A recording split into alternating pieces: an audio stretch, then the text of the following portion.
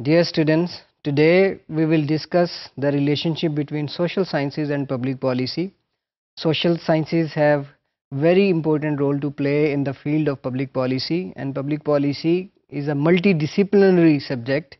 It borrows ideas from so many of the social and the natural sciences. So it is very important that we know something about the social sciences it borrows ideas from. Uh, the first science or the first uh, body of knowledge we will discuss is philosophy and political philosophy. What is philosophy? Philosophy comes from the two Greek words. One is philin, the other is sophia. Philin means to love and sophia means wisdom. It means to love wisdom or to love knowledge.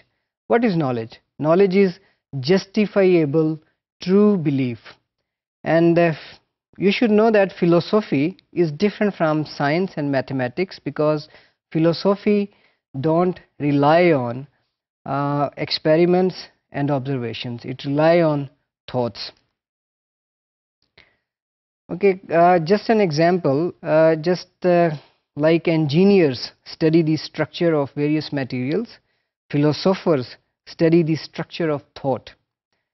And uh, we will discuss uh, some of the branches of philosophy which are very important uh, for the discipline and practice of public policy. The first is logic. Uh, what is logic? Logic is basically about arguments. It's basically about good reasoning. istadlal और अक्ल के इस्तेमाल के बारे में जो असूल वज़ा किए गए हैं उनको लॉजिक कहते हैं जब आप पॉलिसी रिसर्च कंडक्ट करते हैं तो बहुत सारी जगहों पे आपको अकली बुनियादों पे इस्तदलाल करना होता है या अकली बुनियादों पे दलाइल देना होते हैं। उनको हम पॉलिसी आर्ग्यूमेंट्स कहते हैं। ये आर्ग्यूमेंट्स इसलिए वजह किए जाते हैं कि किसी पॉलिसी की अगर हम हमायत करें तो उसकी हमायत के लिए हमें कुछ दलाइल चाहिए होते हैं। तो लॉजिक फ़लसफ़े की एक ब्रांच है and it plays very very important role in shaping arguments about public policies और हम रोज़मर्रा ज़िंदगी में भी जब हम पॉलिसीज़ के बारे में बात करते हैं, या गवर्नमेंट के फ़ैसलों के बारे में बात करते हैं तो हमें उसको किसी फ़ैसले के ख़िलाफ़ या किसी फ़ैसले के हक़ में बात करने के लिए दलाइल की ज़रूरत होती है। तो पॉलिसी रीजनिंग बहुत इम्पोर्टेंट है और ये फ़लसफ़े की बहुत अहम ब्रांच है। जो दूसरी ब्रांच है फ़लसफ़े की, वो एथिक्स है। एथिक बहुत ही एंशियंट साइंस है। This discusses about the rights and wrongs what should be done and what should not be done बहुत सारे पॉलिसी डिसीजंस एथिक्स की बुनियाद पे लिए जाते हैं। फॉर एग्ज़ाम्पल क्या मंशियात के आदि लोगों को सरकारी खर्च पर इलाज की मुफ़्त सहूलियात फराहम करनी चाहिए या नहीं? ये बुनियादी तौर पर एक इखलाकी सवाल भी हो सकता है और इखलाकियात के असूलों को बालाए ताक रखकर इसको डिस्कस नहीं किया जा सकता। जो तीसरी बहुत अहम ब्रांच है फ़लसफ़े की, वो एपिस्टेमोलॉजी है। Epistemology is theory of knowledge.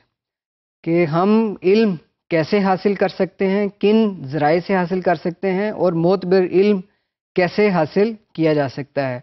So epistemology is also very very important branch of philosophy और फिर morality morality is very important branch of philosophy for example जो सोशल चेंज में uh, बहुत सारी चीज़ें ऐसी होती हैं जिनका ताल्लुक मॉरल्स के साथ होता है और उनको पब्लिक पॉलिसी में मॉरल्स को डिस्कस किए बगैर उन फैसलों को नहीं किया जा सकता। फॉर एग्ज़ाम्पल क्या कॉलेजेस में स्टूडेंट ड्रामे कर सकते हैं? क्या कॉलेज स्टूडेंट्स को म्यूज़िक सुनने की इजाज़त दी जा सकती है? ये ऐसे सवाल हैं जो मॉरल क्वेश्चंस हैं और इन मॉरल क्वेश्चंस की बहुत अहमियत है पब्लिक पॉलिसी के बहुत सारे फैसलों में। तो फ़लसफ़े को समझे बगैर इन सवालों को मुनासिब अंदाज से डील नहीं किया जा सकता। ओके okay, अगर हम पॉलिटिकल फ़िलोसॉफ़ी की बात करें तो पॉलिटिकल फ़िलोसॉफ़ी बहुत इंपॉर्टेंट डिसिप्लिन है और मैं मुख्तसरन इस पे बात करूँगा। This basically deals with the questions of justice equality liberty freedom operation अब ये एक किस्म की वैल्यूज़ हैं and these values are very very important for public policy decisions so बहुत सारी पब्लिक पॉलिसीज़ में हमने ये डिसाइड करना होता है कि ये मुनसिफाना तरीके से इस पॉलिसी के बेनिफिट्स लोगों तक पहुँचें।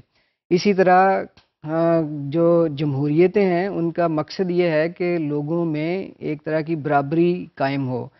और फ्रीडम भी इसी तरह का एक इखलाकी क्वेश्चन है और इसको पॉलिटिकल फ़िलासफ़ी के डिसिप्लिन के बगैर एक बड़ी सतह पे हल नहीं किया जा सकता।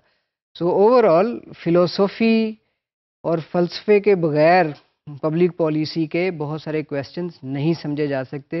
फ़लसफ़ा पब्लिक पॉलिसी डिसिप्लिन के लिए बहुत ही अहम सोर्स ऑफ़ नॉलेज है।